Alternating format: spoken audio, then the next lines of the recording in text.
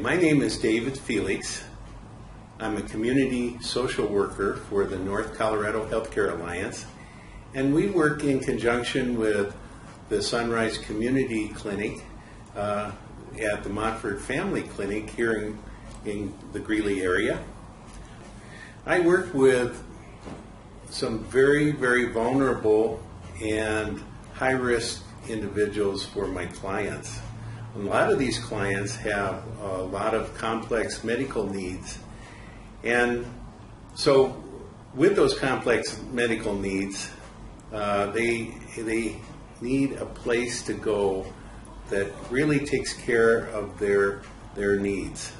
One person in particular that I work with uh, is a 70 year old person with a lot of complex needs.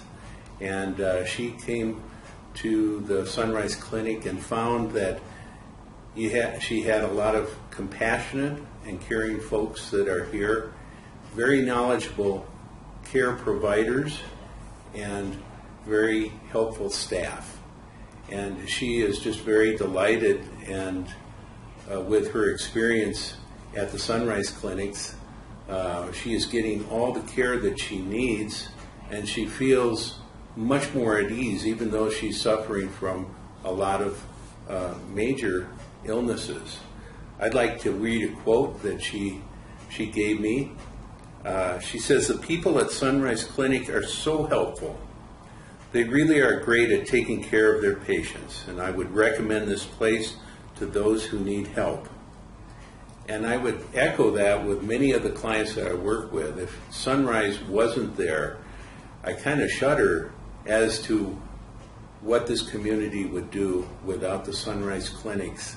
Uh, they are helping hundreds and thousands of people here in the community, and uh, there would be a lot more uh, emergency room visits and hospitalizations.